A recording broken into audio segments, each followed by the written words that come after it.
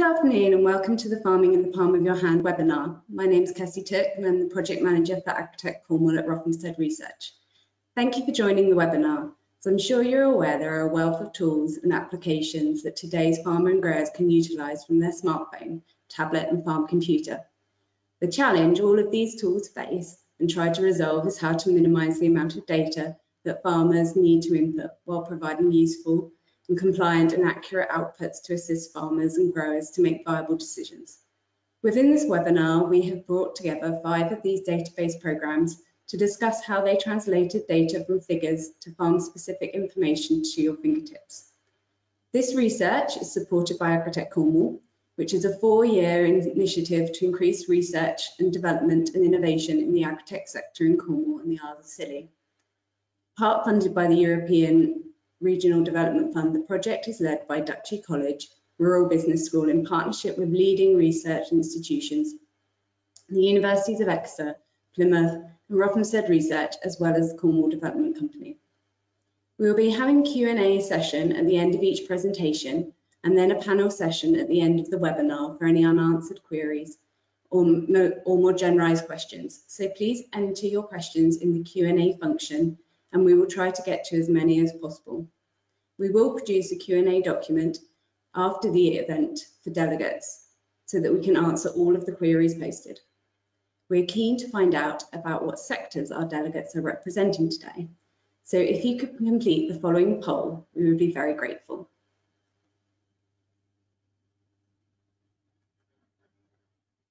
There will be other, some other polls throughout the event for you to engage with. The poll is now open.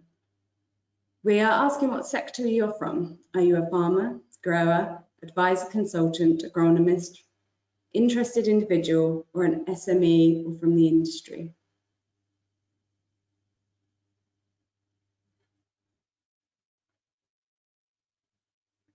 We'll just give you a couple more minutes to complete that.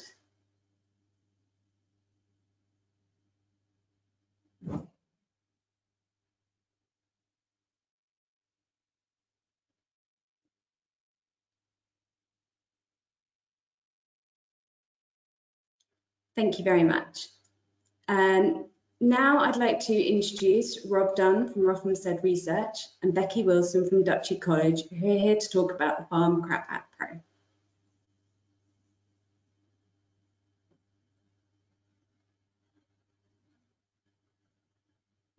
Hi there. Are we uh, getting a slide up? Yeah. I'm sure it's just coming.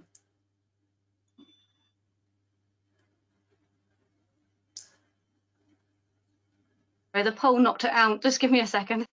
okay, so yeah, we're just waiting for the presentation to load. Um, while we're waiting for that, I'll just say two things. First is I'd like to say thank you to Kirsty for organising this. Without her driving it, it wouldn't have happened, I'm sure. Um, and the second thing is I've somehow managed to catch a cold in the last few days, so at some point I'll have to mute myself and blow my nose. Um, so I apologise before we start. um, so yeah, so this is the Farm Crap app. Um, it's a collaboration between Rothamsted and Duchy, um, and funded by the ERDF. Um, if we go on to the next slide, please. So get the bad news out of the way first. Um, it was in the news not too long ago that English rivers have been quite badly polluted, um, not just from agriculture, but from various other industries as well. Wales and Scotland aren't quite so bad as England, but agriculture seems to be playing a, a, predominant, a predominant role in some of the pollution incidents that are going on. So if we could have a, the next slide, please. This is just an example uh, of a river that's local to North Wyke, where I work. Um, it's the River Taw, it's in the North Devon catchment. And there were seven incidents recorded in the time period when this was made. Um, and I've said there were four from agriculture. I've made a mistake there. There's three from agriculture. Um, and some of those are nutrient management uh, issues and problems. So yeah, so in terms of the impact of agriculture on rivers, which obviously nobody really owns, but everybody gains the benefits from, I think there are probably things that we can do that would reduce the incidence of pollution going into these rivers. And the good news is that the CRAP app can help farmers to uh, make decisions actually in the field when they're doing some of their muck spreading in particular. Um, that will help reduce the incidence of pollution into local rivers. So if we go on to the next slide, please.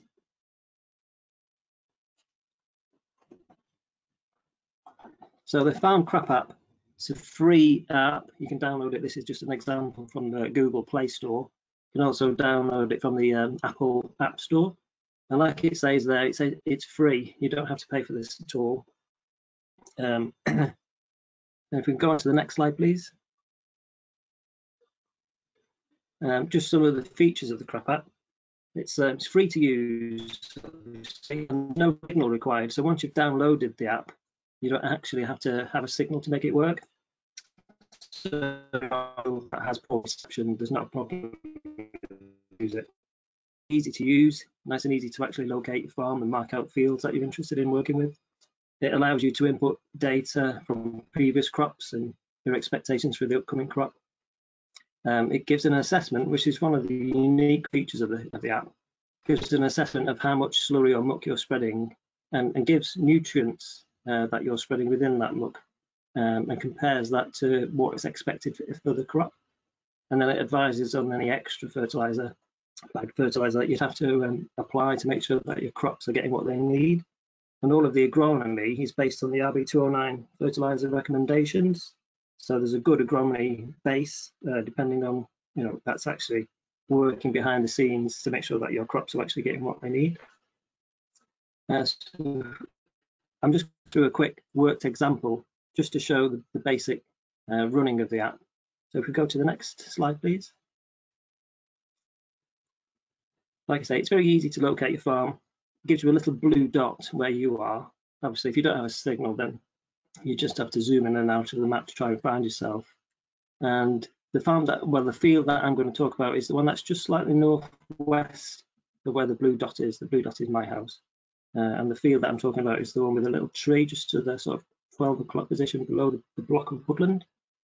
So if we go on to the next slide, please. Uh, there's a, a feature where you can draw around your field. Obviously, it's called your field here, but you can give it any name you like. And if we go on to the next slide, please. It's just an example really because it was a bit of an odd shape. That it's quite easy to actually plot around the edge of the field, um, irrespective of the sort of little ins and outs that the edges might have. And it gives you an estimate of the area that your field has. So this one is 2.12 hectares. And just at the bottom there, it says soil details. So if we go on to the next slide, please. You can input some of your details local to your farm. So you can put in soil type, and there are, I think there are 12 different soil types you can use. The one that's local here is a heavy clay, so that's what I put in. Uh, it asks whether or not you apply manures, and I've said yes. If you have any uh, soil chemistry data, you can actually put them into the app here, uh, rather than just having uh, estimates. You can actually use your own data. It gives you your soil nitrogen supply, basically gets that from your location on the map. And if we go to the next slide, please.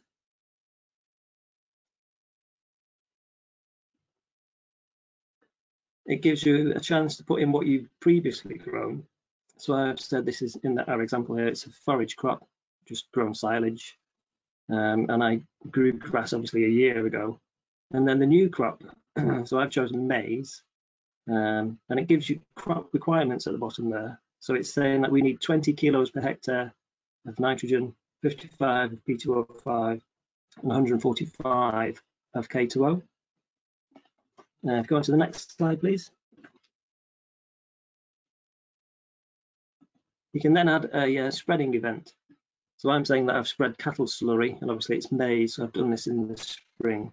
Uh, put the end of April down as a as a date, and I've said that it's a two percent um, thin soup type of slurry, and you can put down different types of uh, applicators.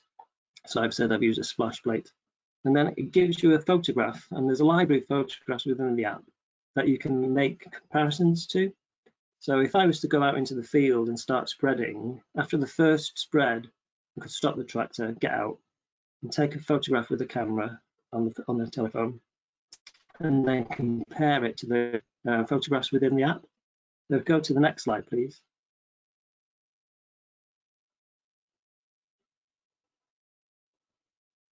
So here, I've imagined, well, you can imagine I've compared the spreading of the slurry in the field.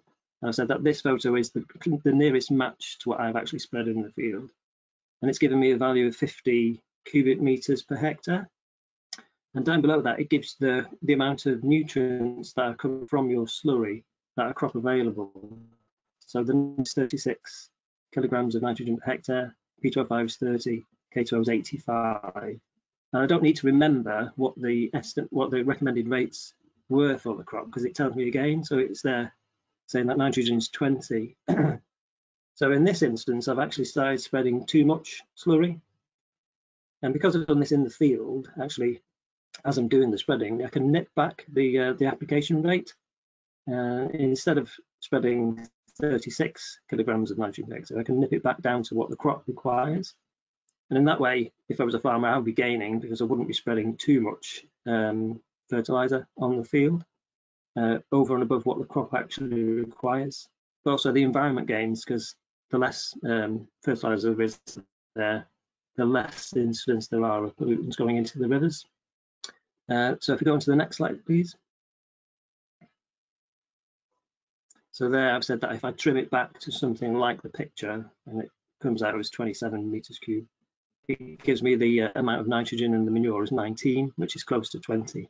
Um, and then I would actually be able to add extra P and K in bagged form uh, to make sure that the crop is actually getting what it requires. But I wouldn't necessarily have to add that at that time. I could do that when I was drilling the seed. Um, so in a way, we've, I've gained farmer, made sure that my resource is being used properly and effectively, and I'm not over applying. And the environment gains because we're not likely to get as many pollution incidents if you're using less uh, fertilizer in the form of this slurry being applied uh, before I plowed up the field and planted my maize.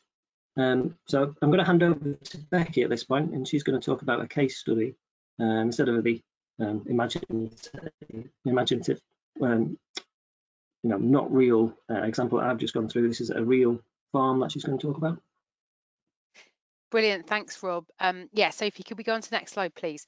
Um, so yeah, Rob's given a really good uh, introduction and understanding of how the CRAP app works. I suppose a couple of things I'd just like to add in terms of the fact that the CRAP app has really been designed in a really iterative way. So uh, we, you know, back and it's been through various phases of development. So you might have noticed at the beginning it was saying Farm CRAP app Pro. Um, you know, this this project has, has sort of evolved and moved on from the first uh, the first version of the app back in 2000 and 2012 13, which was very much an awareness raising tool. It was designed to help farmers value and understand um, you know, the nutrient content and the nutritive value of the organic manures and slurries and to treat them as a resource rather than see them as a waste that they had to get rid of. And as that process has evolved and as the app has developed, then farmers have really appreciated it and seen the value of it. And so we've tried to make the app do more and more and become more of a decision support tool and something that farmers can use out in the field to help them make better decisions rather than just that initial phase, which was looking at that sort of raising awareness of the benefit and the value of manures and slurries that have back to the farm, both in terms of improved environmental performance, improved economic performance, and improved soil health. So we work with a few farmers on this, and this is one of the farmers that we that um, you know that has been using the app. As I said, it's an iterative process. So we have a group of farmers that have been working with us since the beginning uh, in terms of trialing different versions of the app and telling us what we need to do in terms of making it as user friendly as possible. Um, and sometimes we could they can take a little bit little bit of convincing. So this was a um, uh, was was a farm where they've got two silage fields, um, which both had a sort of target yield of between five and seven tons of dry matter, which are cut four times for silage. And so we set down a challenge at this point and we said, right, you manage one of the fields uh, in the way that you would traditionally manage it in terms of applying what you normally apply, and we'll manage the other field using the CRAP app and we'll see what happens. And so both fields have been managed, as I say, both fields are on the same soil type, same crop, same length of ley and all the rest of it. Um, both fields had slurry over the winter and then also had, uh, you know, an initial dressing of 50 kilos per hectare of nitrogen in the spring before first cut. After each silage cut, each field had an application of slurry um, that was about 22 cubic meters per hectare. It's about 2,000 gallons an acre. Um, the crap app field, because we planned the applications through the crap app and we saw it needed no extra nitrogen, a bit like Rob had already shown.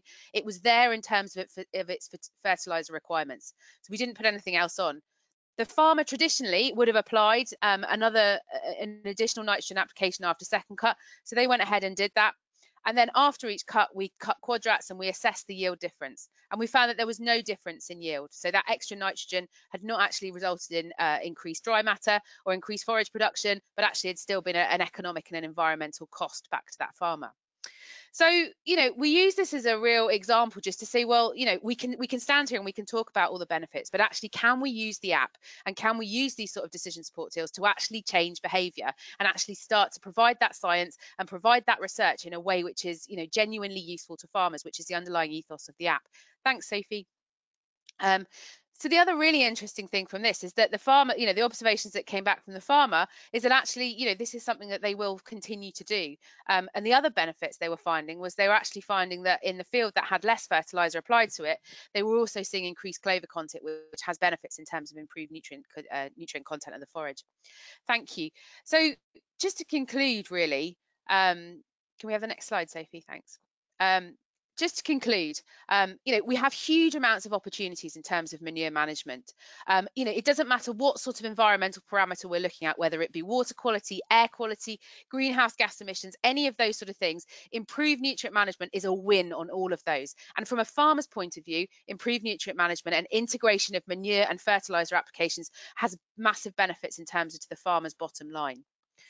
This current tool, so RB209, has been around for years. We have various other nutrient management planning opportunities and, and, tools that are out there, but our research showed at the beginning that they were currently underutilized. So what we tried to do was try and uh, talk to farmers and understand why they weren't using the current tools that were there and really try to develop something that, you know, did what they needed it to do. And that's really where it's come in terms of being able to be used in the field, as Rob said, to make those quick decisions.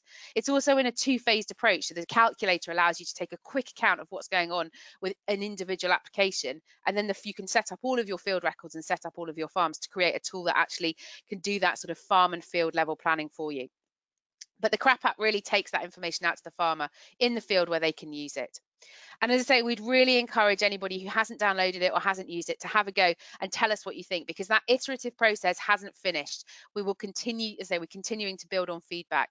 So thank you very much.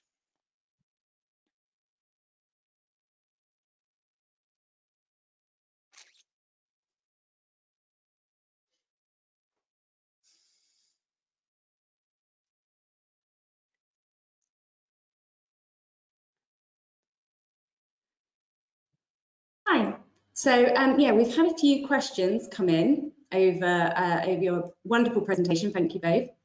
Um, so the first one is, will the CRAP app get the functionality to link to the RPA site for the farm so that field data can be input automatically? Yeah, I mean, this is something that we've. It's it's really interesting when we start talking about the mapping function because the original the original version of the app didn't have that mapping function within it, and certainly when we went out and did feedback with with farmers, and it was specifically actually our young farmer groups that we were working with and some of our students who said that that ability to map was really really important, and the ability to you know not just log log the field. So it's also from the from the developer's point of view something that's been quite a headache in terms of getting that to a point where it's usable and user friendly, and certainly certainly there are lots of other data sources that we can use to do that. So we could, as I say, use like the RBA RPA's, uh, you know, uh, referencing system and all those sort of things, which means that for things like when we're trying to adhere with compliance and risk maps and all those sort of things, it should work seamlessly. It's it's certainly something that we would we would look at for the future. We're still trying to keep um, uh, what we what we really want to do is we want to try and make sure that it's a genuinely useful tool for farmers. So again, trying to link up with with RPA databases and Environment Agency databases and all the rest of it. We want to make sure that if that if that were a development that we were going to do, that it would still allow the farmer to to be uh, to be able to put in what they were actually doing in terms of applications without any fear of any repercussions or any of that sort of thing. Because certainly, you know, we've had discussions in the past about about how we link that up. And as I say, we want it to be, um, you know, to be genuinely useful. But certainly, it's something that that we could that we could look at in the future. And if that makes if that makes the process of logging people's farms and fields an easier thing, then certainly that gets a thumbs up from me because it hope helps uh, improve usability. Great. Uh, this next question is, is there any input in terms of met data, um, i.e. uh, predicted potential upcoming weather events? So the weather data, the weather data that's currently in there just feeds into, um, there's a location data and climate data that helps to um, sort out the soil nitrogen supply. It's not currently linked to uh, to any weather data in terms of um, in terms of looking at risk factors, both in terms of you know ammonia or nitrous oxide or any of those sort of things.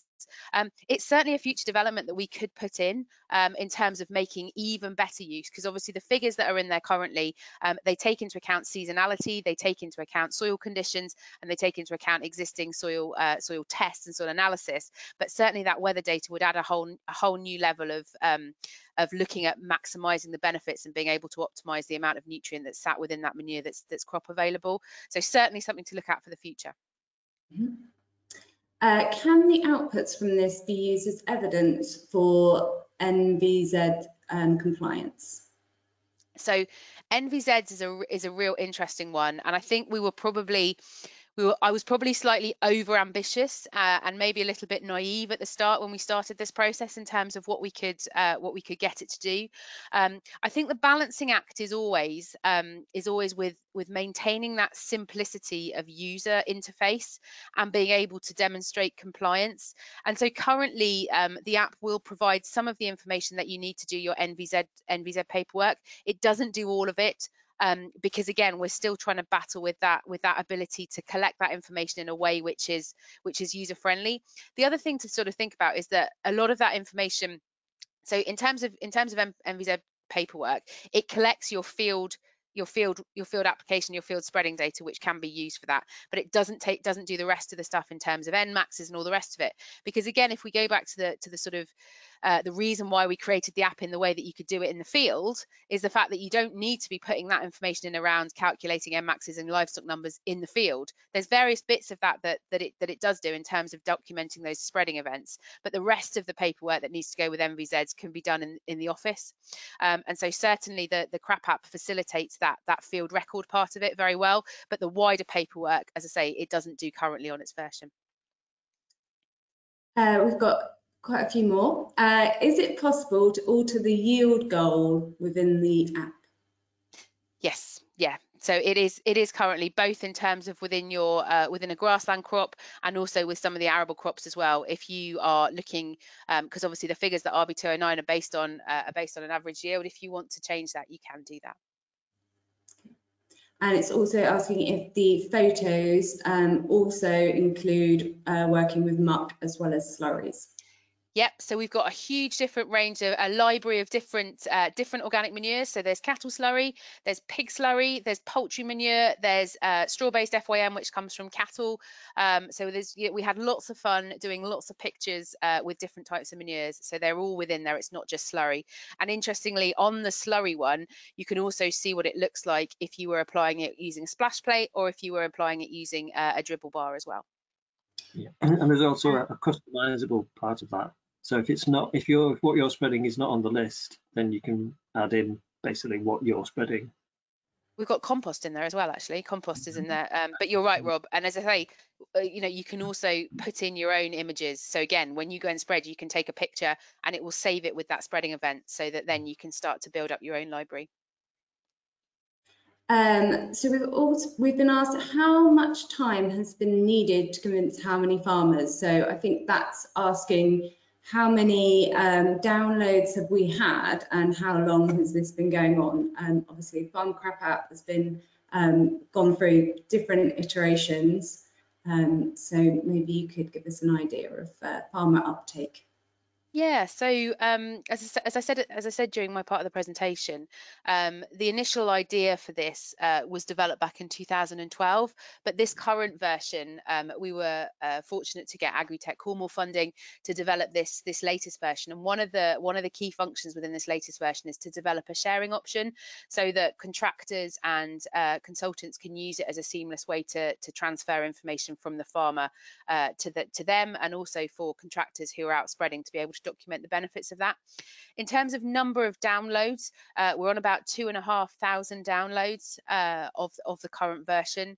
Um, so you know we had a we had a beta version um, so we had we had the original awareness raising version, which did really well. And then, as I say, we st- you know the, the, the feedback from farmers was it's brilliant, but it would be even better if it did X, Y, and Z. And so that's you know the doing the X, Y, and Z is what we've delivered and well what we've developed, and we're we're continuing to develop through this next version of it, so that we've still got that very simple awareness raising tool function, but then you can actually take that and use that in much more detail in terms of providing your field records. Um, so yeah, in terms of farmer uptake, it's been it's been good. Um, I think obviously, uh, you know, it, we get interesting balances in terms of, um, you know, it is, does tend to be quite livestock focused because obviously we're dealing with organic manures, but we have had, um, you know, we have had suggestions from from farmers who are using a range of other organic materials um, that aren't just manures and slurries and how we incorporate those into it as well. Um, I think, you know, we try and stay quite quite true to its focus in terms of that, you know, being able to help, uh, you know, help farmers appreciate the the economic and the environmental benefit that comes from using manures, um, and how to how we can do that in a way which helps them make decisions and help make the most of the of the materials that they've got.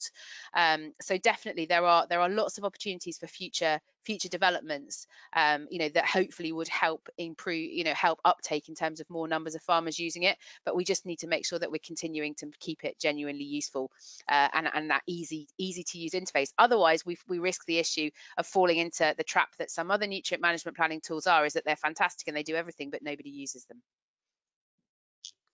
Um, and we've also got one last one, which is in uh, your example, Becky, in the case study, um, apart from yield, were any protein levels obtained? Yeah, so this the samples went off for analysis. I haven't got the results back yet, actually. Um, but yeah, we sent the we sent the forage samples off for analysis, both uh, in, to look at the nutritional quality of it as well. Okay. Um, and there's a couple of general questions here, um, just to reassure uh, delegates that this event is um, being recorded and will be available after. If you follow the original registration um, uh, details, then you'll um, be led through to the recording so you can view at your leisure. So um, I'd like to say a big thank you to Becky and Rob, um, and we are just going to launch a poll now, um, just to find out uh, how many of you have um, used the CRAP app as a decision support tool. Um, so my colleague Gareth is just going to post that poll up. Um, as I said, I'd um, like to thank uh, Becky and Rob for that great introduction to um, uh, to the CRAP App Pro. Um, also, you can continue to post your um, questions uh, in the Q&A function for um, Becky and Rob. Uh, we will return to uh, them at the end in the panel event. If you can just put in your question, if it's um, for a a presentation that's already gone, um, perhaps just um, the title, so CRAP app, followed by your question, so that we know which, um, which presentation it refers to. That would be really helpful. So um, I think we are probably there with that poll. Thank you very much for taking part in that. Um, I'd like to now introduce um, Laura Kirk um, from Rothamsted Research. Um, she's going to be joining us to talk about the CROPROTECT um, project and, and tool. Um, so, and Laura is uh, driving her own presentation, so hopefully pass over to her. And then we will follow um, her presentation again with a short Q&A session. So please remember to post your questions um, into the Q&A function for Laura and we will um, we will address those after her talk. Yeah, okay, brilliant, thank you. Hopefully my presentation will appear in a moment.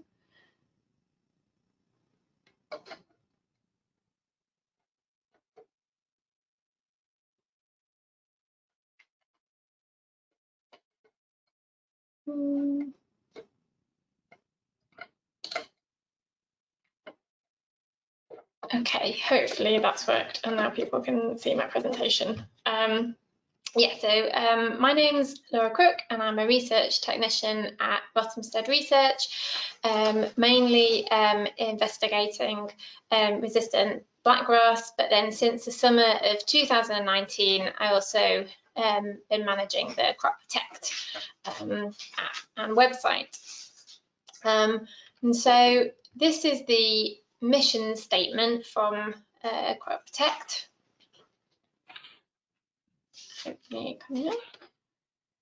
And I thought that this best describes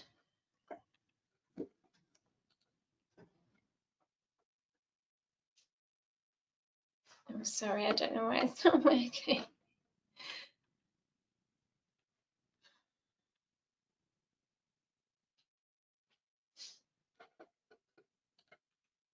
There we go. Um, yes, apologies. Um, so this is a mission statement from uh, Protect, and I thought this best described um, what our aim is.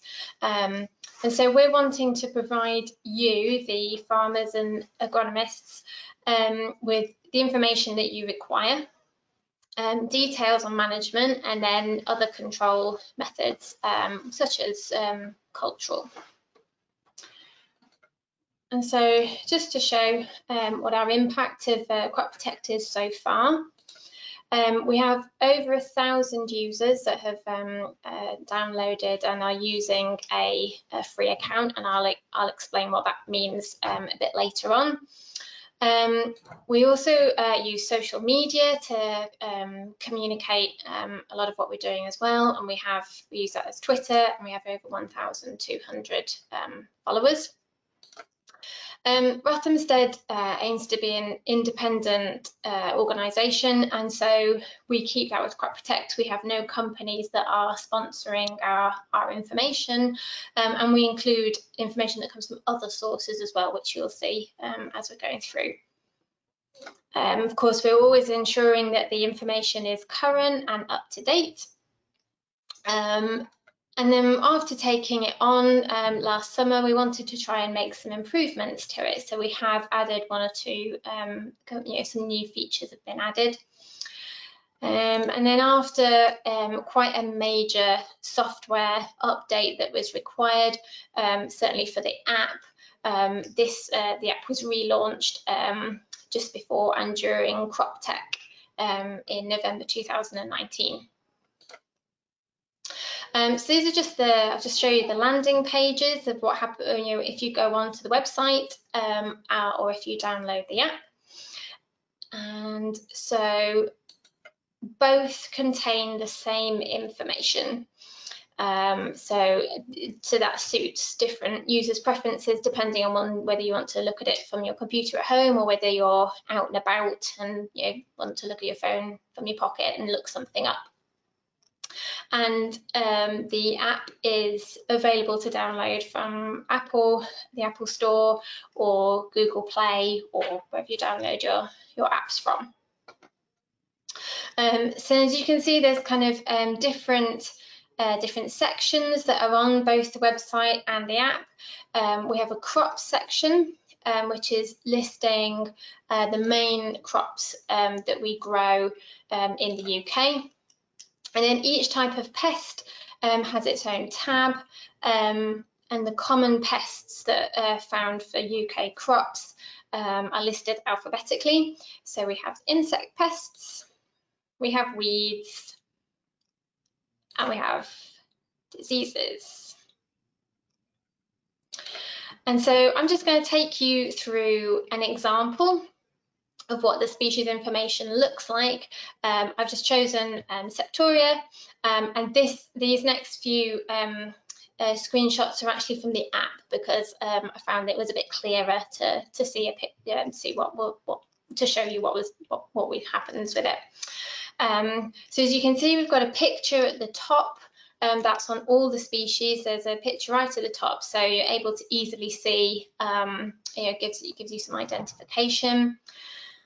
And then there's a description um, as well of, of what, what it looks like in the field. So um, see, you know, this is the damage that you could see caused by septoria, or if it was an insect, it might be, you know, some some key characteristics to look out for, um, maybe what size it is, that sort of thing. Um, weeds, you know, maybe a description and what you know the flowering, um, you know, colour the flower would be, and that sort of thing. Um, so that's and then as you can see um, you have this I have this issue um, button. And so this relates to the free account that I was talking about before. So when people um, download you can just look at the website and the app um, just for free just look at the information. But if you want to sign up for a, a free account, then you can.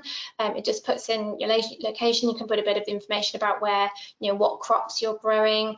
And then as you're going through, if you can identify um, uh, which um, species problems you have an issue with. Um, and so then you can see what, what you have on your farm. Um, so as you can see, um, pesticides are mentioned when it goes through to the, the management. Um, and that is because they are part of the, the toolkit of crop protection. Um, so they're, they're definitely all mentioned on all the, all the various species. Um, we've highlighted various organisations that um, you can look that are supporting these and you can get information on um, about, you know, for instance, fungicide resistance. Um, and as you can see, um, we mention actives um, but not any product names in keeping with our independence. Um, and we, you know, we do go through and make sure that that information is, you know, is kept up to date. Um, and so then also we provide a lot of information on alternative and cultural control. So that might be weather timings, cultivation, seed rates, insect traps, things like that. Um, and so and you can also see here I've highlighted where we have, um, you know, for instance, using the AHDB recommended list um, to then choose varieties that might um, that would have resistance to Septoria. So that's just an example of how um, how that information is included. And then throughout the information, um, there are links to other organisations and articles. Um, these are in the text, but then also all of those links are put down at the related links at the bottom of each page so that they can be easily found as well. Um, and as you can see, we do use other sources of information. Um, AHDB is used um, quite a lot, or, you know, for instance, um, diseases to do with potatoes, it links to potato um, websites or PGRO, FIPPES, that sort of thing. Um, and then we've also got um, a gallery of pictures um, that would help with um, identification and, and uh, so that you can you can try and match it up for yourself from looking at the at the information and what you've got in the field. So I mentioned that there was um, some new features that had been added. Um, and so one of these was to add an articles um, section. because we thought that would be able to share and highlight some interesting topics um, uh, with, with farmers and growers. Um, one of these as an example is a colleague at Rothamsted produces data on light leaf um, spot. So um, so one, once he had, he'd sent me a link which had the forecast for that. So um, I can turn that into an article and then also that goes on to you know, put that on Twitter as well. So that information is out there. So then with CROPROTECT, um, we're always keeping it up to date, but we would definitely like to do more um, with it. We believe it's got a lot of potential. Um, and so just a, a, couple of things that we're thinking about. Um, we think the weeds pages could maybe do with a bit of um, updating, a bit of revamping, just tidying up and making them a bit more um, succinct. Um, always looking you know, for, um, you know, we've got the, got the lists of the different species on there, but it'd be good if we can expand those that are covered. For instance, BYDV is not talked about yet on CROPROTECT and of course that's a, an increasing threat so that's something that we need to address and to help us keep to keep up to date and um, to kind of keep the, the communication um, more linked with the between the website and the app and, and with Twitter. Um, so we are getting the Twitter feed um, integrated into the website and this is um, about to happen imminently. Um, and so some other ideas that we've thought about as well. some sometimes the choices that are made might not be good for um, other species. Um, and so we want to explore this and um, we're going to try, we're looking at a pilot um, for the weeds because we, we've got some good data on the, um, the different life cycle of some of the weeds and just to look at whether if doing doing a certain cultural control method for, for one weed species then leads to an increase in the problem of another weed species. So that's that's an idea that we've got. Um, and also wondering about um, you know, like a citizen science approach of using CROPROTECT to try and collect data on species, um, for instance, wheat diseases, um, aphids relating to BYDV, um, blackgrass, um, particularly we found that highlighted this year with it being also an unusual year and unable for scientists to be able to get out and, and collect data as we usually would have done. Um, and so there's certainly more that we could do with, with CROPROTECT. Um, for instance, as well, developing the um, the free account. We think there could be a lot more that we could could do with that as well. Um, but yeah, I, I, mean, I, I really like working with CROPROTECT and I think it's got real potential. Um, and with that, I'll say thank you and um, answer any questions. Hey, Laura. Um, so we have got, um, so far, you've only got one question, you're getting off lightly. I'm sure people will post them as we go along and you'll be right back in for the uh, discussion at the end. So uh, the question is, are vegetable crops included in the app or is it just the main arable crops? Um, yes, so at the moment it is just the, the main arable crops, so the the the very the, the kind of the common ones of um, wheat, barley, beans, potatoes, peas, linseed, I think might be mentioned on there. But yes, that is something that we have um, thought about, about whether we kind of you know expand into yeah vegetables or or you know other um, horticultural type crops, you know, especially, you know, I suppose, bearing in mind that things might be changing over the years and we might need to be um, increasing the crops that we're growing. So there's certainly potential for that.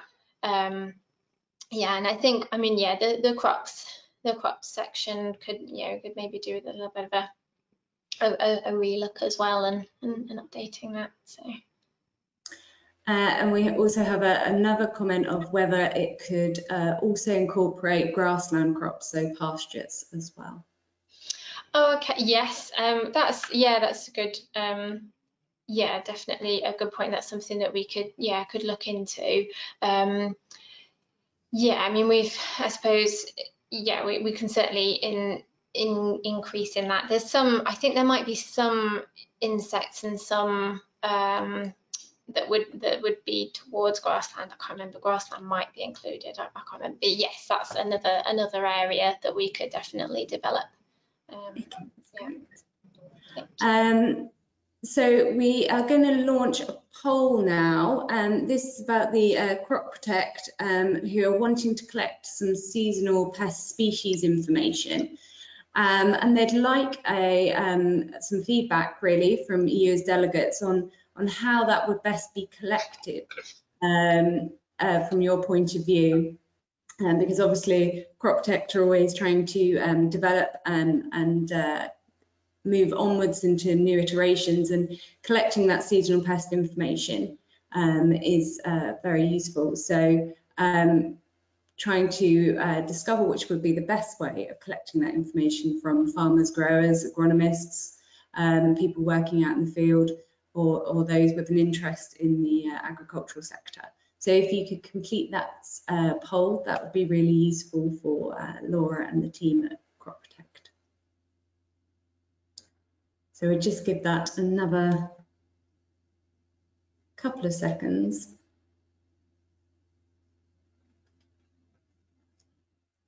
And um, then I would like to move on to our next presentation. So um, I'd like to be introducing now uh, Lian Hai Wu um, from Rothamsted Research and Rob Sanders from uh, GLAS Data. Um, Rothamsted and uh, GLAS Data are collaborating on the VisAg project. Um, and uh, Rob and Lian Hai are here to talk to you today um, about that. Thank you very much, uh, Kirsty. Um, my name is Lian Hai from uh, Rothamsted. Uh, I just mainly to uh, describe the scientific background of VisAg. Uh, Rob will uh, take over for the interface. Um, I think that is, is a big challenge for scientists, uh, how we can convert our research result uh, for um, uh, farmers, for, for clients. Uh, next slide, please.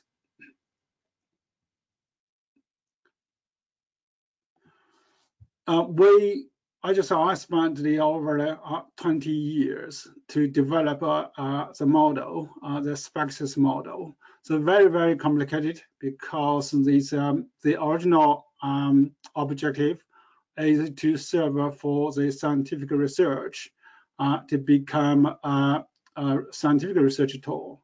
So this model has been used in various the soil conditions climatic conditions, um, uh, cropping systems, and also used for arable land and grassland.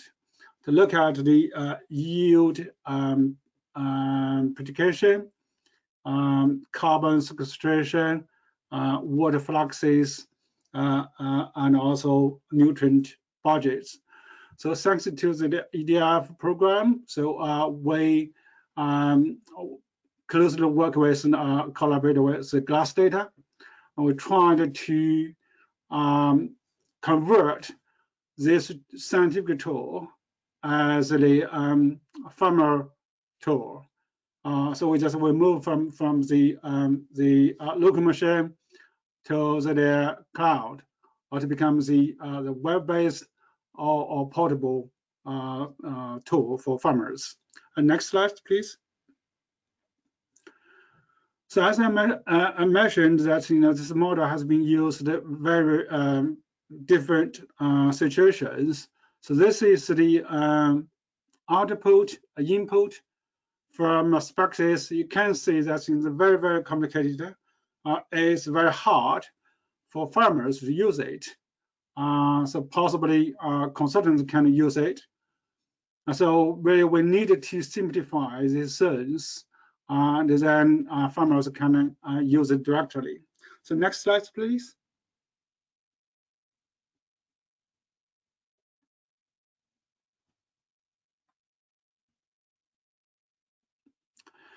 Right, so uh, we the the idea is we have the SPACSYS model uh, and also has the um, the database to host the input and output. So really, we wanted to get the the useful data from different sources. Uh, here, I just highlight the weather and the soil uh, through this simulation interface. Uh, and then uh, through the fluxes, we could um, show the results to farmers. So this is the this testing just the uh, uses the web-based uh, system. next slide, please. Yeah, so you can see from the top that's the uh, that's data for scientific simulation. So we need uh, different um, zones or just a weather, soil, uh, management. So this is this is similar to the uh, to the uh, the previous slides, but we will the the the uh, the aim is just we can show the results uh, through the uh, web uh, app or app uh, uh, for the uh, crop management for those applications. Uh, the thirds. Um, next slide, please. Yeah, so this is the um, the the crops or, or plants. Um, right now, we can uh, include uh, in this the um, in this app, uh, and also we could have the different cropping systems or rotations uh, to consider different crops or in in a, in a in a, a rotation cycle. Uh, next slide, please. And this is the input. What they we just always simplified the the original input, so that farmers can easily to put up. Uh, that's a crop management and fertilizer applications, uh, field management, uh, and soil information. So for soil information, we can get it from the um, either from the farmers or from a soil uh, soil uh, database. We just only ask the very conventional uh, data, not so complicated things. So I just stop by here and then hand over to Rob uh, for the um, interfaces. Thanks, Jan. Hi. Uh, can we have the next slide, please? So um, as Lian Hai said, um, the model started off as an academic tool and it's really, really complicated. Um, it's a really, really powerful tool. Uh, so we wanted to, the whole point of this project was to simplify it and make it accessible um, like throughout the entire industry, but primarily at a farm level. Um, so we at GLAS Data, we specialize in connecting different sources of information together, trying to make them all appear ubiquitous, like they've all come from one place, uh, and so that they can communicate with each other.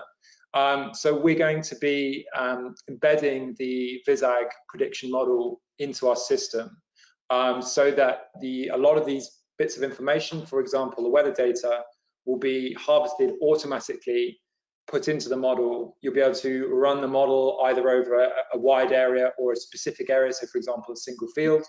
Um, and then you'll be able to access your results and compare it with, with different things all throughout the system. Um, could we have the next slide, please? So this is what the um, app started out as. So this was the testing system um, when we were uh, when Rothamsted was looking at prototyping how users would actually interact with the model. Um, because we wanted to actually move away from typing computer commands and move to a more traditional web-based user interface. Um, if we go to the next one, please. So like I mentioned, we're currently in the process of embedding it into our system. So what we're going to have is a, is a completely separate area where you'll be able to uh, log into an existing account or create an account and then you'll be taken to a dedicated zone where you'll be asked specific questions about uh, the area that you want to run a simulation on. Um, and then it, will run the simulation given your specific use case and, and, show you the information. I'm just going to take you through a couple of screenshots now uh, as to, to what it's like, but it's, bear in mind it's a, it's a prototype at the moment, so the final version will, uh, will look slightly different. Uh, if we could have the next slide, please. So the simulation collects information on uh, specific things. So here's an example of your soil information. Um, some of this will be able to be automated. Um, our system has a, a, mapping module and you can input fields automatically from the Rural Payments Agency uh, and the sizes of those fields can come in as well. So in the future, we will be filling in some of these parameters for you automatically. But to start with, um, this will be manually entered uh, when you want to run a simulation. Um, if we could go to the next one, please. Uh, this is again the, the testing um, user interface, uh, again representing the soil information. and the next slide um, is the fertilizer application, just to give you a flavor of the sort of information that will be required. a lot of these, for example, the fertilizer types, we have a, a, huge preset of different types of fertilizer that you'll be able to select from, uh, and then the application method of that as well. So again, just to automate the process a little bit and speed it up. Um, if we can go to the next slide, please. So once all this information has been input, um, we'll then send it off to the simulation. What we've done, like Jan Hai said, is we've taken this from a, a, a, bit of code which runs on someone's PC under their desk. We've stripped it down, we've kind of um, encapsulated it, and we're now putting it on the cloud. And what that means in practical terms is that wherever you are, you'll be able to access it um, simply by just logging into a browser. So it's much, much simpler uh, to access. Um, and the output of it is um, predicted yield in terms of, so here you've got the straw and the grains. You'll also have um, the grain dry matter, leaf dry matter, stem dry matter, as you can see at the bottom there. And there's also a, a carbon sequestration. Um, so as the prediction of the crop increases, so will the amount of carbon which is being sequestered, which we're going to include uh, in these final results as well. As things like the ELMS uh, trials progress uh, and the new government, government initiatives move away from uh, sort of the production of farming and more into the environmental good of farming, um, it could well be that things like um, the value or the amount of carbon that you're going to sequester for any given crop could have a, a very significant impact into what crop you then go and plant uh, and when potentially you harvest it as well. Uh, so really the whole point of this is to be a, a decision support tool to aid those, those future decisions. Um, last slide, please. So that was a quite a quick overview. Um, we'll have more information in the new year with a hopefully all singing or dancing simulation for you to interact with. Um, but for now, any questions, please do give us a shout.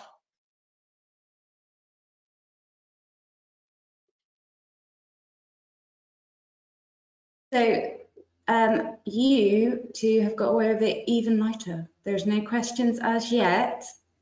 But as I said, um, delegates, please feel free to um, pose any questions. If you could just add VISAG before your question so we know who to address it to in the panel discussion at the end um, with if we get any um, other questions come in. Um, also, um, if you would, if you're keen to be involved in um, potentially the user testing or um, trialing the VISAG as, as it's under development currently. And as uh, Rob said, we're hoping to um, do a launch of this, um, of this first stage product in the new year. Um, then please do let us know. Um, so uh, we, all, we have got one question that's come in is when is the website likely to launch? So we've been doing a lot of work recently preparing the, the cloud um, part of it, if you like, which is actually going to be doing the heavy lifting of running simulation. We're currently now working on the updated website itself. Um, we'll be launching a prototype version later this year with the aim of uh, a couple of months into next year having a more production ready version which you'll be able to use on any of your fields uh, in your farms. So um, I think we will move on to our next presentation. Oh, hang on, can you give me any more detail on the carbon, carbon sequestration element with particular reference to rotational grazing or rotational grass? I'm assuming that's rotational grazing. Jan, how do you want to do that one? Yeah, yeah can I answer the question? yes, because in the model uh, we are simulate the carbon uh, cycling to look to investigate or just quantify different processes within the system for um, carbon uh, cycling. Uh, so if you have the more or, or the manure applied, so in that case, will the the soil carbon pool will be built up, uh, and also if you just have a grass, it's a grass uh, grassland, uh, the uh, because the uh, perennial grasses would have a more carbon uh, contribution um, through the uh, through root system. So that's the gradually build up of the carbon pool. So when you if, if you convert it to arable land because of different management uh, and applying the the carbon pool will decline gradually. Uh, so that's, yeah, we will look at this sentence. Okay, and as if the delegates knew to give me a segue into the next speaker. So um, thank you, Lian Hai and Rob, um, for that um, presentation. As we said, you know, uh, we will keep you posted um, on the developments and we will be looking um, to do a launch event um, in the new year so that you'll get more information on this. Um, but our, I'd like to welcome our next speaker. Um, so I'd like to welcome um, uh, Paul Harris. Um, he will be talking about the uh, soil carbon project, so very linked to our previous questions. Um, I'm sure you're all aware that uh, soil organic carbon is very much in the headlines So this is a partnership project between Rothamsted Research, Duchy College and Plymouth University. Um, and um, Paul Harris is going to speak to us about that. Uh, he'll be joined um, for the question session by uh, two of the other members of the team as well. So I'll introduce them when they come um, they come on camera. Um, but if you'd like to post any questions about uh, the soil carbon project, please do in the Q&A and we will answer them after the presentation. Thank you. Hello everybody. So um, I'm going to talk about the, the soil carbon project. And it doesn't have a app associated with it or decision support tool, but it can, it can feed in to the VisAg project that you've just heard about, and also the farm carbon cutting um, uh, project that we're going to hear about after this one. So potential to link to an app or a decision support tool. so the, soil carbon project. So the project aims it's been running since 2018. It's a it's a three-year project, and we're, we're, trying to understand the relationships between farm management and soil quality, especially soil organic matter and soil carbon. So part of the project, so the project we're going to we conduct lots of surveys on soil quality across different farm types. and um, we've collected soil samples at different depths, and we've got proxy measures of soil quality, and we're looking at interlab comparis comparisons when we um, uh, put, put the, um, the do the soil analysis. We're also looking at um, best ways to conduct the sampling and optimal sample designs for soil carbon. And we're going to look at the whole farm carbon footprint, offset its potential, and the, the impact of different uh, management practices. Um, the project consists of three, three um, key groups. It's, it's, basically led by Duchy College and Becky, who you've already heard from. So, um, so that's the project lead, Duchy College, um, Becky leading it. And then the Rothamsted component, which I lead, we're, we're mainly about the sample design. So the, the best way to sample for uh, soil carbon on farm. And then the Plymouth um, side of the project, that's the interlab comparisons of when you sort of um, when you're measuring uh, the soil carbon in different ways it can be processed through the lab. Uh, here's our business outputs. So we got so we're doing quite well with different um, and stuff. So that's just a, a list of the um, business outputs that we've got. Um, uh, so there's actually a network of 60 farms across England, but we, we just, because this is um, uh, a Cornwall, Cornwall project, we're just focused on 35 farms in Cornwall. What we do, we sample three to five fields per farm uh, across a range of enterprises, soils and management. So we've got 35 farms in Cornwall that we can um, we can um, collect data from. Um, so year one, we collected um, uh, soils on soil organic matter at different depths, uh, just using the um, the standard W protocol. So that's just say uh, 15 points, and then you then you bulk those 15 samples. And we also measured loss of ignition, bulk density, soil nutrients, and we all, importantly we always know the management of those fields across the last five years. And then in year two, uh, we're doing the same again. that's just a broad sweep of soil organic carbon in year one and year two across across fields, but no no within field uh, variability in that respect. Um, also collecting some proxy measures of soil health. So we got this um, visual evaluation of soil structure, um, aggregate stability, infiltration tests, and earthworm counts. So that's all useful uh, contextual data soil health in addition to soil organic matter and, and soil organic carbon. All very important to build up a picture of the, of the how healthy your soils are. so um, uh, data collection, we did um, 2018 data that's all collected, um, gone through the lab and processed. Uh, 2019 data of course, collected, but um, some of the lab work, uh, the lab work isn't complete. And then we've collected data in this year, um, COVID-19 aside, so it's been a bit of a challenge, but generally okay. But in this year, we haven't just done the Ws.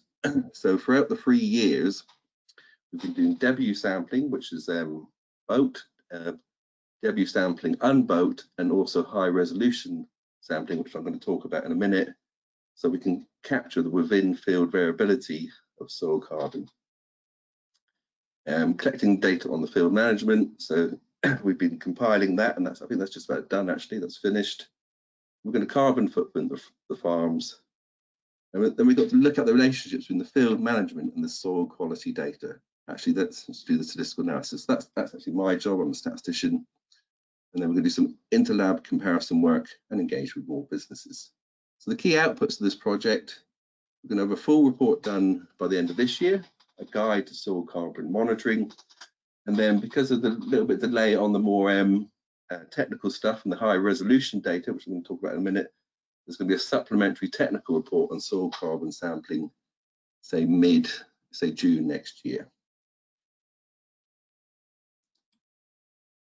Right, this, so this now I'm going to focus on the Rothamsted um, component of the project.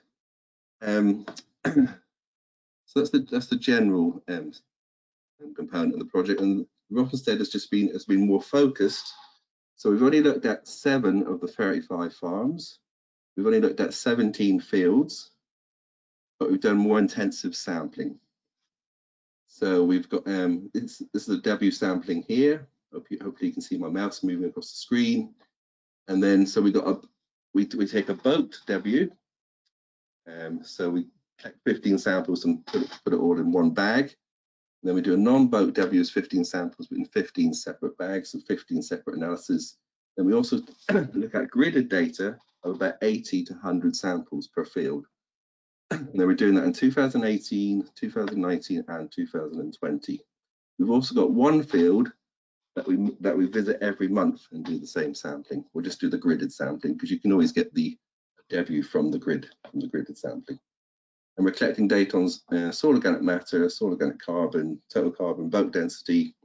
We always have this, and we have the farm survey data as, variables and contextual data, and also and um, environmental and other contextual data like general uh, uh, weather patterns, uh, topography, elevation,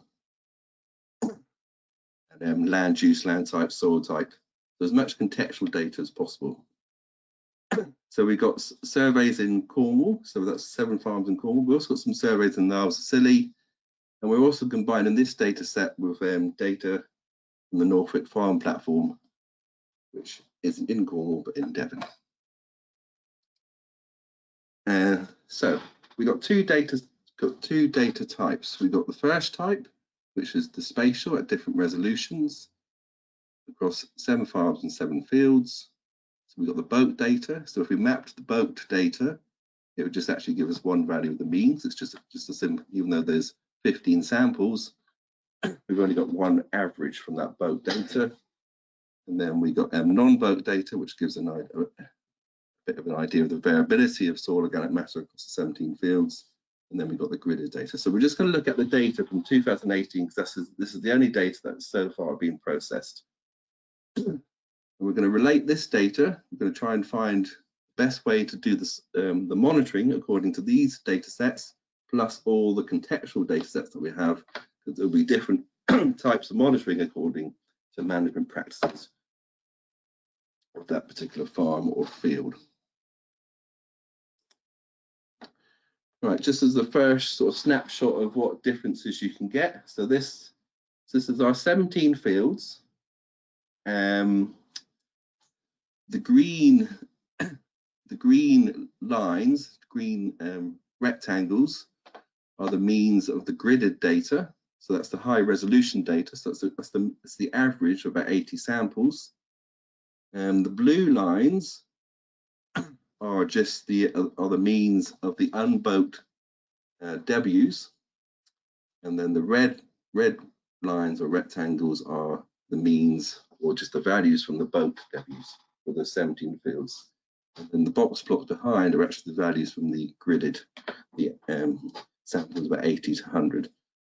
So in general, the, the, the different averages that you've calculated according to the, the resolution of the data that you've collected are broadly similar, but there are there are quite differences, and sometimes you'll you'll overestimate or underestimate your soil organic matter just just due to the way that you've sampled the field.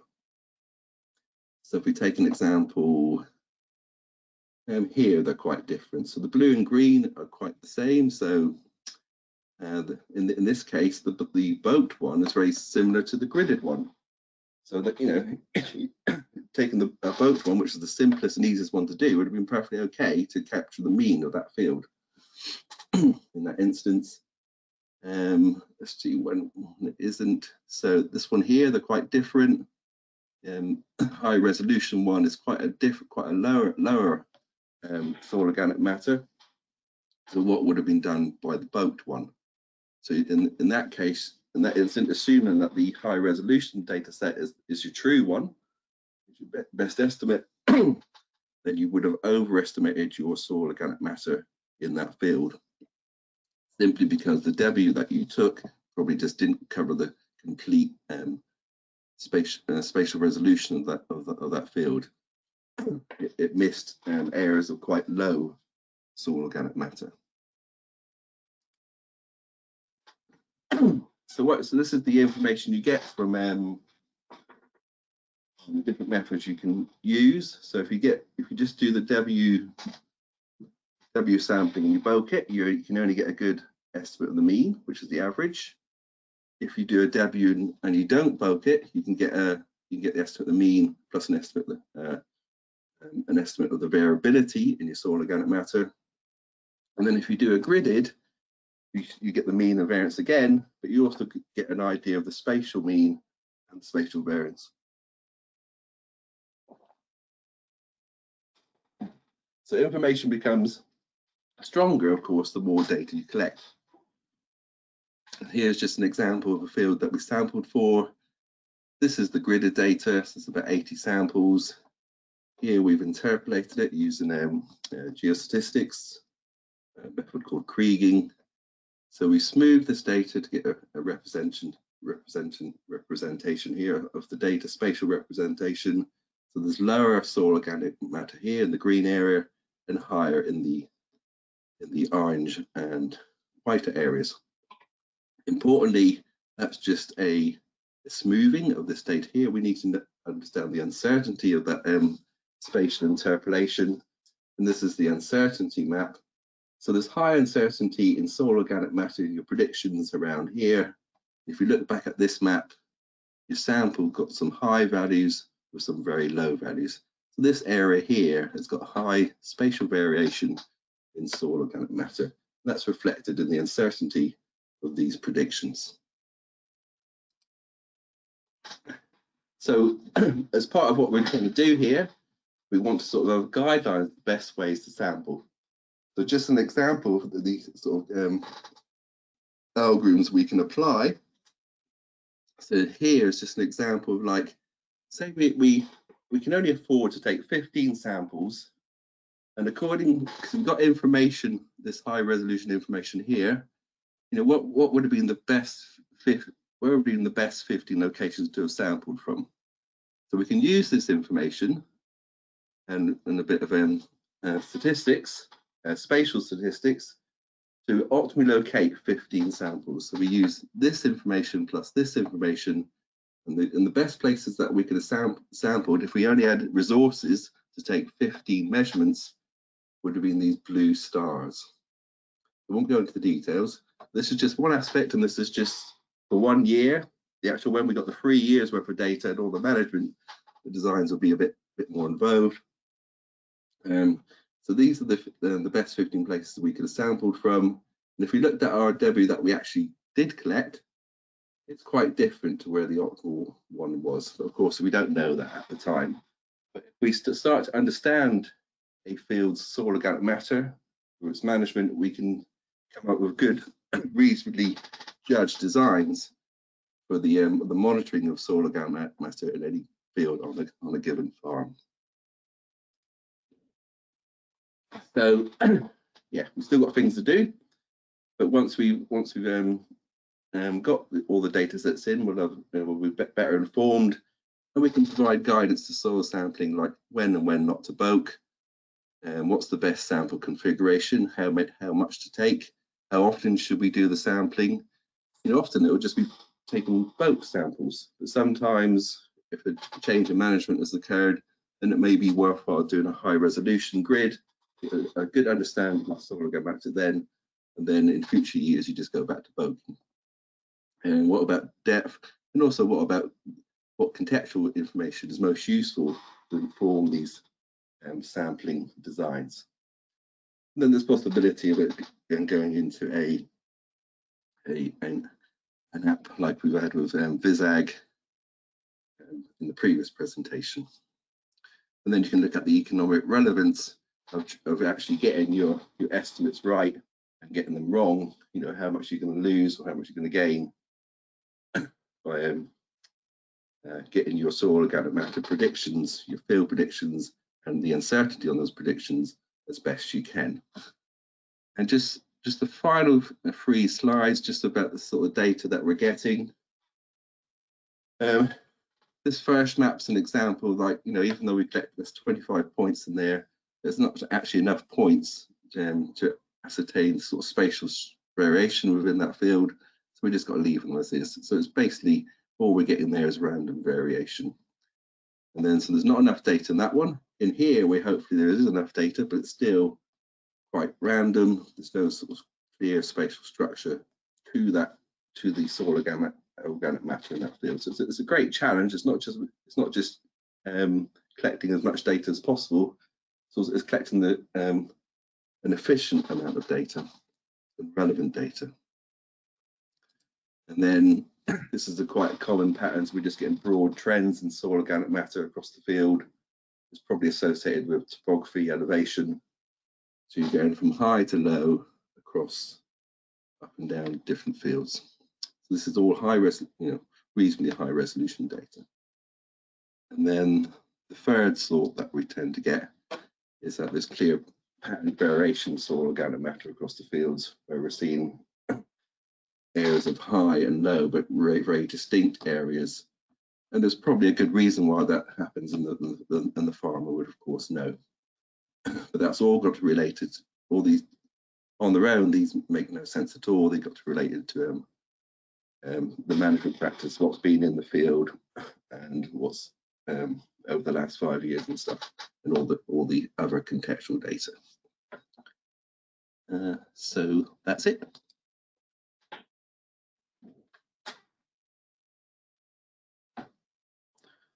So thank you very much, Harry, for running through um, the soil carbon project um, and particularly the Rothamsted work. So uh, we have uh, one question so far um, of when will the complete results be available for this project? Uh, hopefully June, middle of June next year. Okay.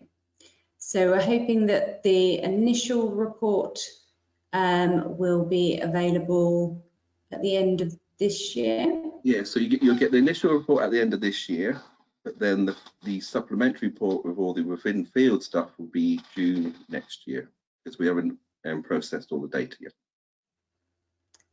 Um, so I will just quickly introduce here the other members of the team. So this is Andy Neal, um, who's part of the soil carbon um, project and is a, a, soil microbiologist. And we have um, Will Raisy here, who is um, our soil um, sampling expert, who is out in the field and collecting those samples. Um, just give it a little moment more see if any more questions will come in. Um, as I've said before on the other speakers, if you have questions that then uh, occur to you while the next speaker is um, on, please post them in the Q&A and uh, just put a, a, soil carbon project title and we can uh, cover those at the end of the event. If not, Andy and Will have got away with this very lightly, just appearing and waving and looking pretty. And then Um, and I will, um, I think we will move on to our last speaker.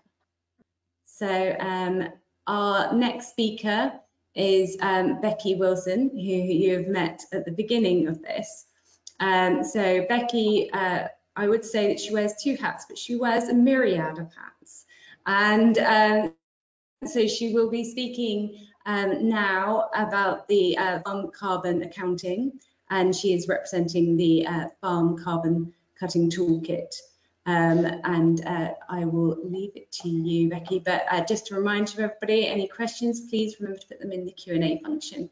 And we'll speak to Becky after the presentation. Brilliant. Thank you very much, uh, Kirsty. And yeah, nice to nice to be back on. Um, I say wearing a slightly different hat this time. Um, I say I'm, I'm a research lead at Duchy College, but I also uh, project manage the Farm Carbon Toolkit. Um, so yeah, this this last session of the of the afternoon is really going to be looking at how we can use some of the data that's been discussed uh, discussed in the various different presentations today, both from looking at uh, a manure management point of view, looking at soils data, looking at fertilizer data, looking at uh, carbon data, and how we can put all that together really, um, and other farm farm levels of information that we need in order to use this information to do carbon accounting. Thank you, Sophie.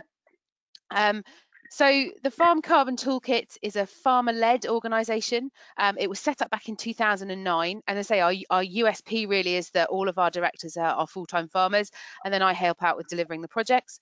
Um, and the real aim of the organisation is to encourage and support farmers and growers um, to reduce their greenhouse gas emissions, improve energy resilience, improve soil health, but ultimately with the aim of improving business resilience for the future.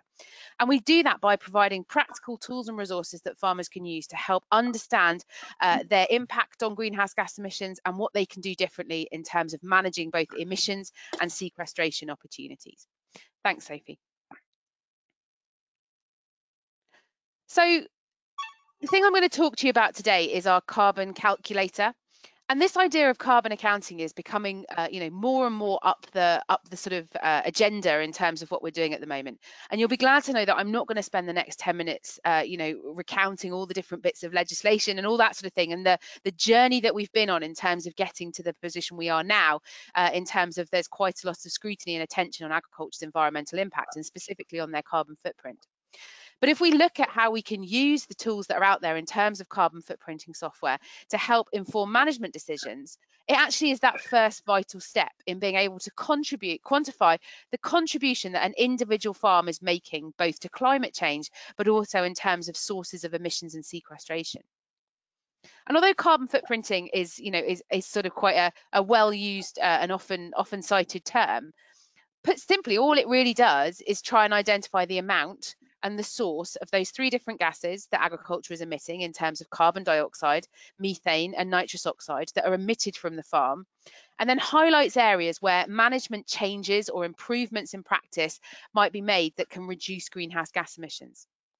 It also allows you to understand current carbon sequestration and offsetting options. So the current carbon that's being stored in woody biomass or on soils on the farm and where you might be able to alter management practice to improve that sequestration potential. And look, it gives you an opportunity to evaluate future projects. It allows you to become more aware and make more informed decisions. So when you're looking at what those strategic things you might be doing for the, you know, for your farm in the long term, you can start to evaluate the carbon, uh, the carbon impact on those as well as as well as the financial and other environmental output impacts. But those metrics that are used need to be relevant. So they need to make sense to your business. They need to be practical. So they need to be asking the right sort of questions that allow you to actually take account truly of what's happening in terms of management. They need to be consistent. And consistency is something that we've had issues with in the past in terms of different calculators for providing different results. It's something that we really need to focus on moving forward in terms of delivering those consistent metrics. But they're also that first point in terms of informing behavioural change. So the idea of a carbon accounting tool is not that it's such a hideous process to do that by the time you finished, you have to go and lie down in a darkened room for three weeks and you want to throw the computer out the window. The idea is that the carbon footprint process is actually that first step in being able to then say, well, what does this mean? And what can I use this information for in terms of being able to inform my future management? Thanks, Sophie. And here we also can start to see one of the issues that we have with carbon there's a couple of a couple of issues when we start talking about how we communicate the whole area of carbon and climate change. Now, all of the language around this sort of topic is around carbon. We're talking about net zero carbon, carbon footprinting, and all that sort of stuff. But for agriculture, we're not just dealing with carbon or carbon dioxide, we're also dealing with, with, with other gases as well in terms of nitrous oxide and methane.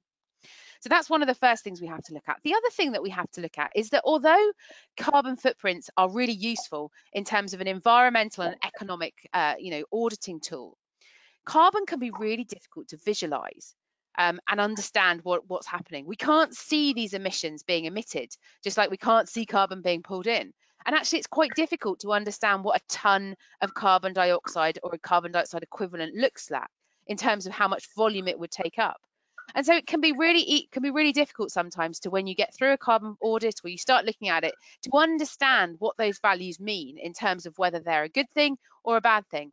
And so one of the other things that we really try and do is try and help contextualize carbon and actually turn it into something which makes sense to farmers. So looking at the comparison footprints of different commodities that you might use on the farm, or starting to look at comparing uh, what you might need to do in terms of sequestration to offset offset a certain emission. So all of these things really make it a lot easier in terms of trying to understand how carbon flows through your business. Thanks, Sophie.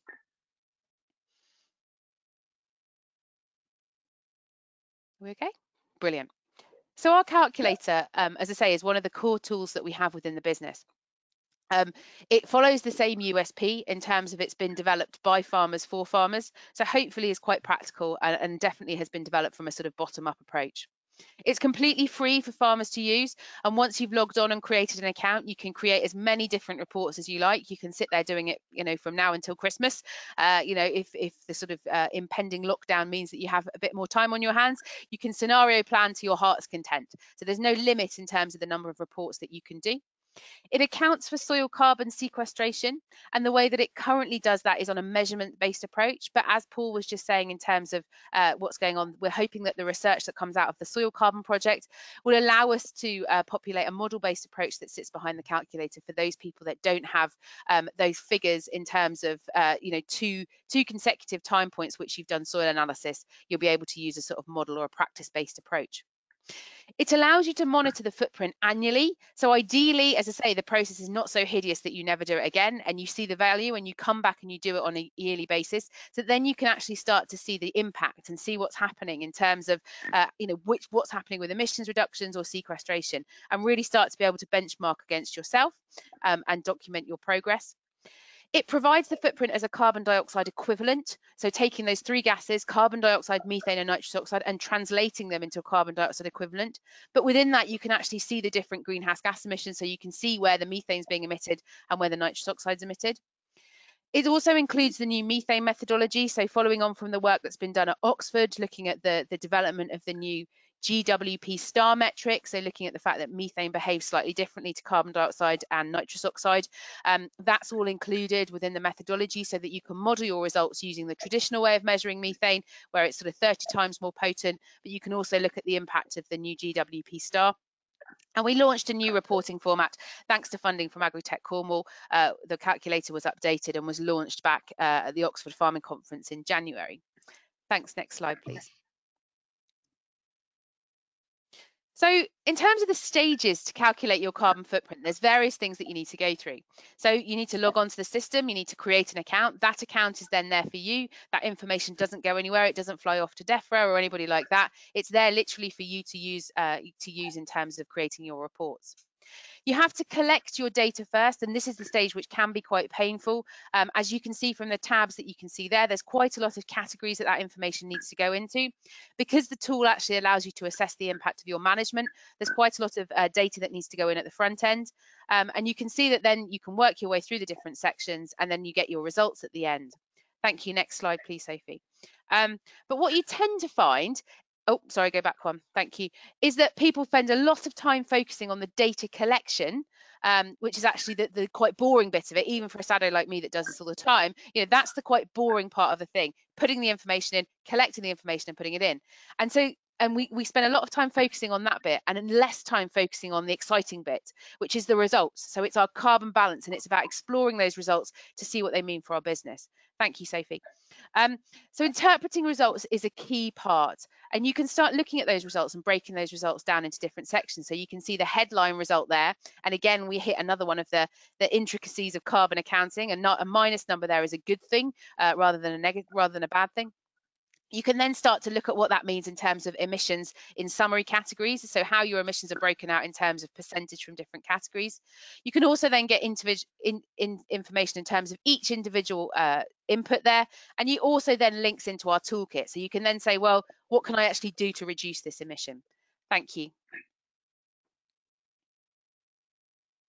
So interpreting results is a key part of it. As I say, the sort of data entry is something that you need to get through in order to get to the really interesting bit. It allows you to evaluate where you are currently. It puts that line in the sand of this is where we are now, and we can now use this as a springboard to look at what we can do in the future. It gives you that baseline. It allows you to be more informed, and it gives you that evidence in terms of being able to change your management. Thank you. The other thing you can use the tool for is that we have a scenario testing capability. So once you've put your baseline information in for the first time, you can then start to use that information to look at what if scenarios. So what would the impact be if I managed to cut my fuel use by 10%? What would the impact be if I changed from winter to spring cropping? If I started to incorporate cover crops? If I changed my grazing management strategy, like somebody was saying earlier, if I moved from a set stock to a rotational grazing strategy, what would that do in terms of my emissions? And all of that can be done within the tool in terms of looking at uh, developing different what if and scenario testing. And this is all really, really hopefully easy to use and allows you to evaluate the impact of management before you start. Thank you. So just to conclude then, um, you know, carbon calculators are a tool. Um, they're a tool that allow you to sort of almost put that line in the sand and look at how your farm is performing currently and baseline that current position. That then gives you a starting point to be able to understand the scale of your individual challenge to potentially reach net zero or do any of those other things that policy is encouraging us to do at the moment. But from an individual farm perspective, it's also just a different way of looking at business efficiency. There's a really, really good link between reduction in carbon footprint and also improved use of resources and reduction in costs. So if nothing else, that's the really first place to focus on. It's really important to have an understanding of the background of the carbon calculator that you're using. There are about four or five that are out there that are, you know, are used quite widely. Understand what your carbon calculator includes and doesn't and find the one that works for you. And some of that comes down to understanding, well, what do you actually want the results for? Are you looking to sort of understand the impact of management or are you looking for a sort of marketing, uh, marketing or, or business development opportunity? But it's also important to remember that none of them are perfect. This whole area is an evolving science, um, but we really have to start somewhere. So all of these calculators will get better as the research is, is fed through, as we get more iterative understanding of emissions factors and all that sort of things. These calculators will get better, but we can't wait for them with the, you know, the sort of uh, scale of issues we've got around the climate crisis and other things. We can't wait for them to be wait for them to be perfect now. We have to start now thank you very much. I think that's probably the, there's probably just one more slide, but that's it. Thank you.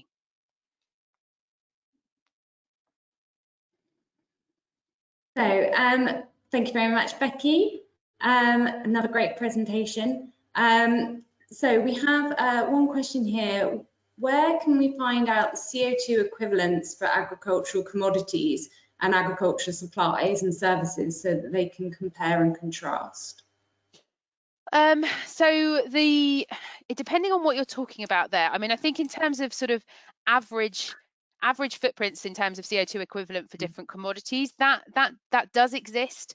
Um, I say there's some of some work that's been done by by AHDB and others. I mean, we certainly have sort of benchmarking within our tool in terms of looking at where you are compared to compared to sort of the rest of the cohort of farmers that are in there. Um, I think it's it's it can be quite a tricky thing to do uh, in terms of getting that because there are so many different production systems and all of those things in terms of how you produce these things has an impact in terms of what that footprint has. So it you know it's difficult. I mean in terms of in terms of the emissions factors we have those as i say which are produced by uh, you know a sort of uh, group of scientists. I'm sure some of them are from North Wyke in terms of you know creating those creating those emissions factors that go into the back end of the calculator. And then it's about looking at the input data from the farmer and then you know multiplying those by the emissions factor which shows how how much of each of those greenhouse gases is is provided by by, by an input commodity. Um, but in terms of those sort of broad baselines, in terms of you know a ton of wheat produces X tons. Um, certainly, some of that work was done um, done back in terms of looking at, uh, you know, when if you look, sort of go back in terms of some of the research that was looking at the carbon footprint of different products, um, you know, and there's been some comparisons in terms of carbon footprint of beef versus vegetables and all that sort of stuff, and looking around dietary choice. But actually, if you start to look at what sits behind those, um, you know, again, some of those potentially aren't UK specific. They're using global numbers, and this is where we start to get into the nitty gritty.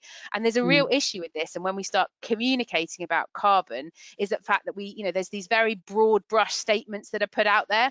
And it, it's really true that the devil is in the detail. Um, and so an understanding of what's going on on an individual farm really allows you to take account of what you're doing. Um, and yes, as I say, potentially then it's good to good to compare to those global figures. But certainly, um, you know, certainly it can be misleading, especially when we start trying to talk to consumers about this sort of stuff. Um, so next question is, do you think there are KPI carbon for different enterprises? Yeah, yeah, there are, and and it's certainly something that we are um, we are looking to include both in terms of um, in terms of benchmarking. So we currently do a little bit of benchmarking. So once you get to the end, you can see how you compare um, to other farms within your within your sector. And as the tools evolved, we've had to you know wait till we've got a good uh, a good sort of number of farmers that are that are using the tool that we can actually start to generate those benchmarks. But the the next stage really um, in terms of the holy grail is being able to really connect up those carbon benchmarks and those carbon KPIs with other economic KPIs. And we can see, you know, we can see that that, that exists. Um, so actually being able to show that, you know, if you can, you know, improve your calving percentage, if you can start to, you know, improve your grass management, then actually you're not only getting a getting an economic benefit, you're also getting environmental benefit and you're also getting a carbon benefit. And being able to really stack those win-wins allows us to really start to strengthen the evidence behind some of those management practices as we start to tr transition to a to a more sustainable uh, and resilient resilient industry. That's great. So um, we are going to go on to our last poll, uh, which is just really to find out if um, if the delegates are currently using decision support tools, if you use them, and, and applications, if you're using them all of the time, uh, sometimes or not at all, um, then uh, we'd really like to get an idea and an overview. This also gives you another few moments to add any uh, additional questions that you would like to ask to any specific speaker or to um, all of our speakers today as they're all going to now uh, rejoin us as a panel. Um, so if you have any questions, any general uh, questions about um, about the sort support tools or um, applications or the conversion of data into farmer uh, interfaces, then uh, please post them now uh, in the Q&A function. And then uh, we'll just give it another couple of moments for, uh, for the uh, poll to be completed. And then I will welcome back all of our speakers. Um, so we do have a couple of questions. Um, so thank you everyone for uh, rejoining. So we had a couple of questions that came in um, after uh, the Q&A sessions. So the first one was for the uh, CRAP app for um, Becky and Rob, um, asking if the CRAP app takes into account grazing livestock dung um, in its uh, sort of application uh, recommendations. Um, so in terms of what's deposited on the field so it's take it's taking into account you can you can specify whether you're um, whether you're grazing or cutting your grassland. Um, but it's it's what it's looking at is it's looking at um, applications that are put you're putting on. So if you're spreading manure or slurry or if you're um, applying it out of a bag if you've got animals that are already grazing on that pasture then no it's not taking account what's happening there. Um, it's looking at what that what that crop requires. You can then you can it's something that we could we could add in in terms of uh, in terms of in the future but it doesn't it doesn't currently take account what the animals themselves are depositing on the pastures it's more looking at you know total crop requirements um, and then what each spreading event that you're putting on is applying and then deducting that from the from the total crop requirements Okay, and we have a question for the soil carbon team. So um, Paul and Andy and Will. Um, from your work to date and any gut feeling, do you think payments for carbon sequestration is realistic over a short-term period or will it need to be trends over many years? And Becky can also chip in because one of her hats is soil carbon Mhm. too. Andy? My, my gut instinct that is that it will be trends over many years. Um, work we've done suggests that this it could be decades before you see any significant changes. Um, so it's not clear how that will be done on an instantaneous basis. Um, so I can't. I think it will be very difficult to pay for carbon from one year to the next because be very difficult to measure changes. It's going to have to be something over a longer term. And I think I think it's just just sort of carrying on from that. I think it's important to to understand that that noise that happens during the year. I mean, we've got some some fields that we've been measuring every month uh, to understand that difference within the year, and also ones you know the ones that we've been measuring every year. And sometimes it can fluctuate and be quite be quite up and downy. And what you don't what you as as Andy says, you're trying to look at those long term trends rather than that sort of quite immediate noise. And so making sure that we've got an optimal sampling frequency uh, in terms of how many you know time between years. And certainly what we've been doing at soil carbon project um, certainly from our side it's probably been a bit too frequent so it can confuse farmers. But actually in the long term i think you know minimum sort of three to five years in terms of that looking at what's happening. Um, but what we have found with the proxy indicators is that we found some good relationships between aggregate stability and carbon. So you could potentially use that as a proxy indicator as to whether your soils are transitioning in the right direction in between those lab samples I, I would I would also add this is this actually is a really interesting question to me, uh, but it, it's really complicated because um, a lot of soil, well, all soils will eventually achieve some maximum carbon that they can they can hold. And so if, if you're already managing your soil in a particularly good way and you're at that threshold, um, I feel you should be rewarded for that. But um, we've got to be really careful that the, the way this is calculated and paid for means that because you're not able to sequester any more carbon in that soil, that you, you effectively get penalized because of that. So there are, I think there are a lot of very difficult but very um, you know practically meaningful problems to um, how farmers are being asked to manage carbon in their soils that have no simple answers at the moment. I, I I think though that we yeah sorry go rob Oh, I can add to the question and just say, would an immediate payment system not be set up around something like uh, borders where there was uh, arable land, perhaps a border of a particularly carbon sequestering crop? Um, and that kind of potentially, and what we've seen with our trials and elms is that that kind of strategy might translate into payments within the first year if you're seen to be doing that. But that's sort of trusting that the carbon's going in, right? And I, I'm not saying it isn't, but um, I think that's a different sort of strategy to some extent. And I, and I think I think we, we go back to the question in terms of do we pay by practice or do we pay by measurement? And I think you know carrying on from what Andy was saying, I, I sort of envisage the future that we have a two we have two different two completely separate sets of payments. We have one that, as Andy says, pays for the carbon that's already stored there, so that we're not losing more up to the atmosphere.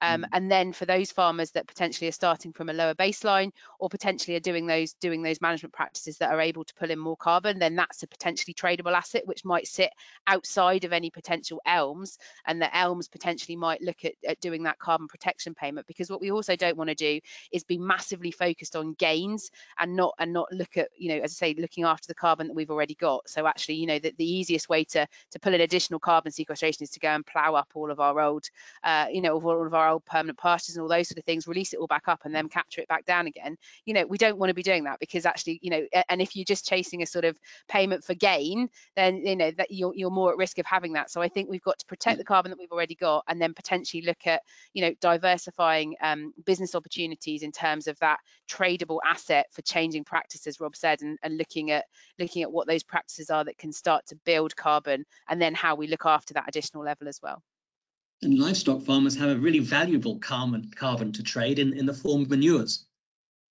Um, and if many of their soils are already at maximum carbon, the way they can really get added value is with sharing that or trading it, ideally, with farmers that desperately need that carbon. So I think they're a, an interesting source of headed income if we could persuade someone to pay for shit, but there we are. Andy. Um, so the next question is, um, if we took our full knowledge of carbon sequestration of 100%, what number do you think we're at now?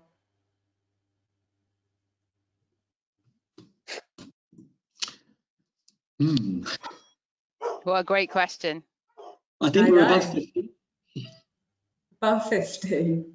I think Any we're Yeah, above Uh, and cer- certainly what we found through this project is every time we think we've cracked something, we realise that we're back at the bottom again. So, uh, so every you know every time we, we think that we've we've got something sorted, something, and, and that's the that's the fun of of of working in this area in terms of that system based, you know, as as all farmers are having to do in terms of taking account of you know climatic conditions, taking account cropping management, and all the rest of it. But I would probably echo what Andy's saying. I think we're prob- maybe I'm a bit bit p- more pessimistic i think we're probably about 45% because i think a bit like soil biology when we you know we're learning as we go along aren't we and actually you know we know more about what's on the surface of the moon than what's under our feet and actually there's so much more to learn uh, in terms of in terms of you know i think i think we're, we're taking great steps in terms of being able to understand how we test for it but in terms of all the different interactions of everything that's happening at a systems level i think we've still got a long way to go I'd be more optimistic. and but but I do think that carbon is the main way into understanding how soil works. Um, without carbon, it's not soil anymore. So uh, we don't understand it yet, but I think we're all very much agreed that carbon is an integral part of soil, and the getting of carbon into soil is only going to bring positive outcomes. Okay, so we have a question that kind of links all of those previous ones in that it's um, looking at as though elms will want to include carbon sequestration as a public good once it gets going. How long before we have the research tools or the results to feed into this?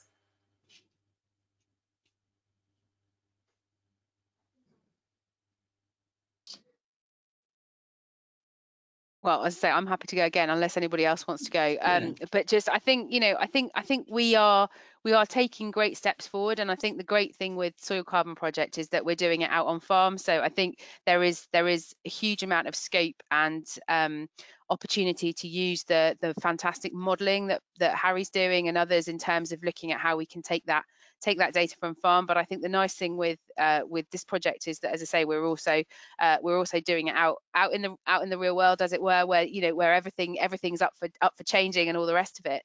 Um, I think I think we we have uh, it's a bit like carbon footprinting. I think we we have to start somewhere and I don't think we'll we'll start you know Elms payments with the with the finalized system or the finalized product.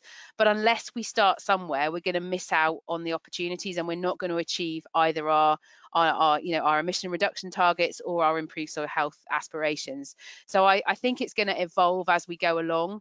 Um, I think there might be a, there will be a few a few teething pro problems and I think there are you know there is a huge uh, a huge need for both you know uh, work like we're doing in the soil carbon project but also linking that up with the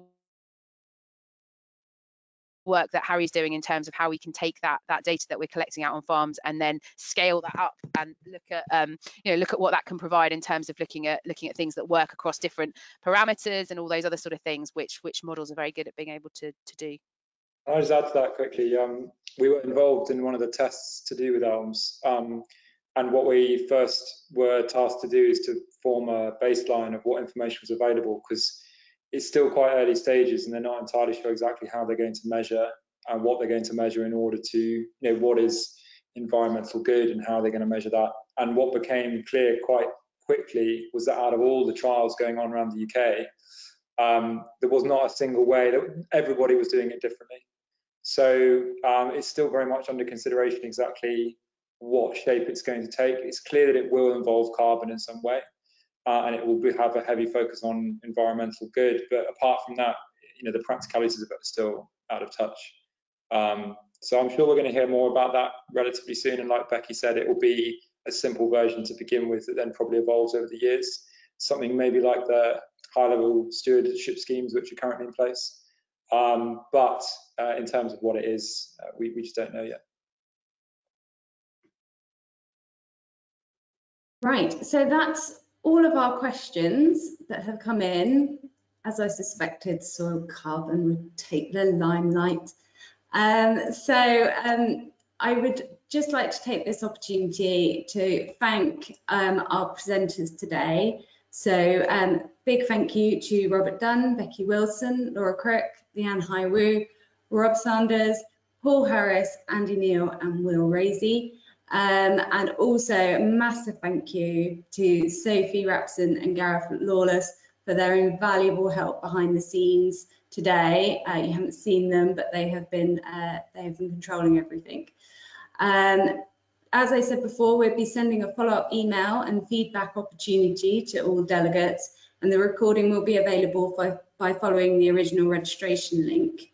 And we will also be forwarding a Q&A document. So all the questions that were asked today and their answers, we will forward. And from a delegate suggestion, we'll also include in that a list of links to the projects and apps and tools so that you can um, you can go and check them out yourself as well.